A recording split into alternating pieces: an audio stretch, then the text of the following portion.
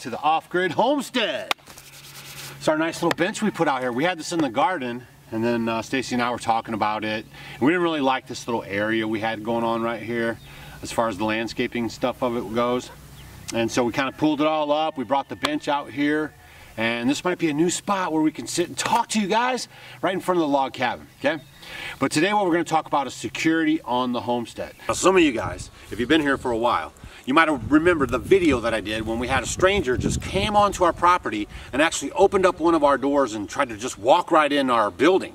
So if you guys wanna see that video, I'll leave a link down to it underneath this video. So that really got me thinking about our security. We've been out here for a decade and we haven't had any problems whatsoever. So when you guys think about security, think about putting as many obstacles in front of the intruder as you can. Like a lot of people plant thorny bushes underneath windows. So those are access points, ways somebody can break into your house. So if you uh, put some rose bushes with thorns on them underneath there, that's a good deterrent. There's other things that you can do just kind of naturally that will just repel people from coming onto your place. And the more obstacles you can put in front of them, then the more likely they are to skip yours and go on to the next one where it's easier. The crooks always like to go for easy. so what I'm gonna do is I'm gonna show you guys what we put in place for our first line of defense. So like I said, everything that you can put in front of the intruder deters them and you have your first line of defense. And I'm gonna show you guys what we got going on. Okay, so obviously your first line of defense is a fence. So we have a perimeter fence all the way around our property. The problem that we had was the gate that we had up at the front here was uh, two 10 footers and we usually leave them open just because it's a hassle. You got to get out, you got to open the gates, close the gates we were doing that, you know, then you get lazy. You guys know how it is. It's raining one day, you know, just all these things. Uh, so what happened was the gates were open and the intruder just drove on down to the house, okay? now another consideration that we have is that we're off the grid, so we don't have any power, you know, it's hard to run uh, power gates and all this stuff. And what I found was there actually is a way that I could run a power gate off of some solar power right up here in the front. You hear that? So I got a 16 foot gate. This is beautiful, isn't it? and now every time we come in, one minute later the gate will shut and lock. That is some good security.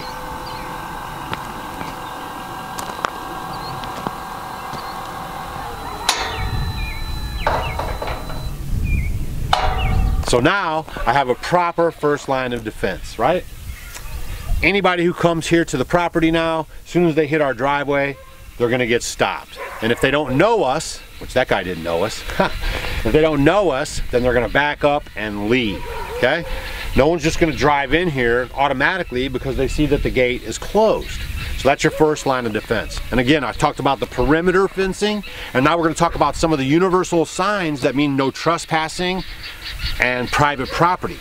If you actually get a purple paint, it's a universal code in North America in the United States. You get purple paint and you put it on your posts, you put it on your trees around your fence lines, and then that signals to everyone there's no hunting, private property, stay out. Of course, you can always put your signs up, your placards, private property, stay out right?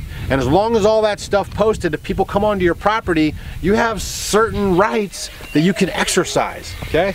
But if those signs and placards and paint, if that stuff's not on there, it just makes it a little bit harder, okay, to defend yourself if you had to go to court or something. Uh, something like this too. I say, hey man, my gate was closed. The guy climbed over it or drove through it or whatever he did and he came down to the house and I had to defend myself. That's my first line of defense.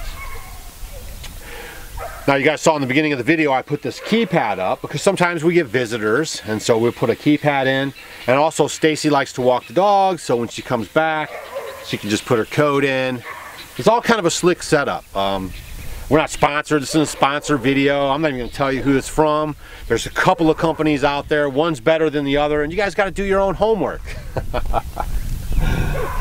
But I'm pretty happy with the installation. It was pretty easy. The batteries all charge off of solar power. I'm gonna show you guys real quick this whole little setup. So look here, it's just so easy. The keypad runs off of some batteries. So you have to, uh, you know, replace those every once in a while. They're C-size too, so they're a little odd. I don't know why they went with the C size. Opens real smooth. I like that. I like the one solid gate, and I like the fact that we don't have to get in and out of the truck every single time we come in to fasten the gate. Okay, we're not lazy, but it just becomes a pain. That's nice. That's some good security right there. Come on.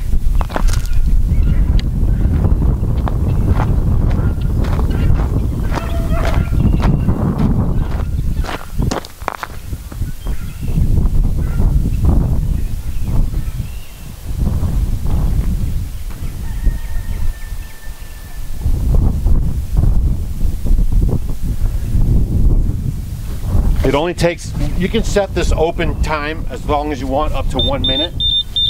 I went the whole one minute just because it gives you time to come through. A lot of times I'll have a trailer on the back of my truck, so that works out good for me. It's just very smooth operations, right? And the nice thing about it is there's two little batteries over here. It's all being charged by the solar power. As you can see, there's lots of sun today. There's the lock. It's a very nice system, okay? So if you guys are looking for some security on your place, especially off-grid, you might want to look into an automatic gate opener. Okay, that's why I wanted to bring this to your attention. A lot of you guys were talking to me about the security here on the homestead. I'd already been thinking about it, been doing some investigations, and when that happened here, uh, that really just sealed the deal. So I knew I was going to get into it. So now you guys can see what's going on. I had to put some six by six posts here I just extended the fence out to close the gap a little bit because that was a 20 foot gate and now it's a 16 16 is plenty. And then I just put some cross bracing on there and it worked out great. Now when you guys are living out in the rural areas like we do um, if you put a gate up like this obviously you're not going to be able to get your Amazon orders.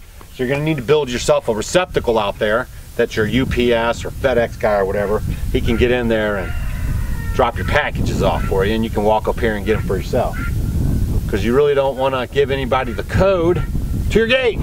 Ha!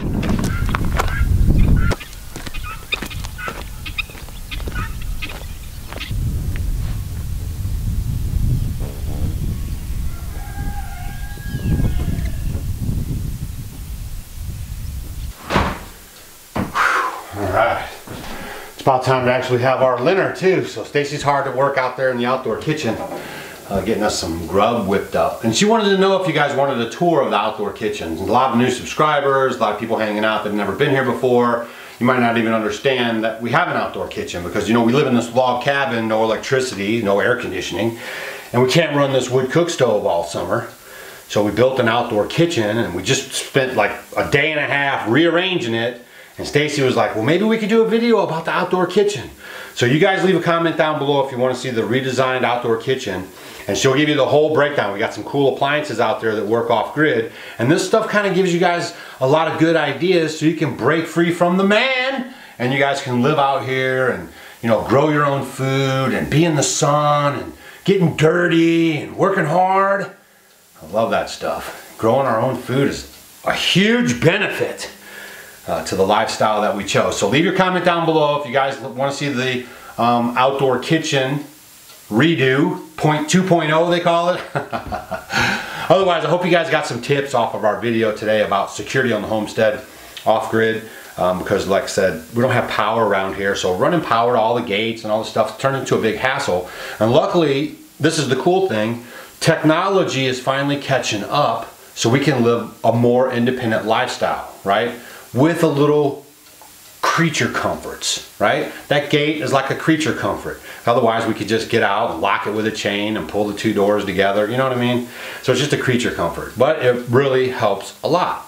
Okay? So leave your comment down below if you want to see that.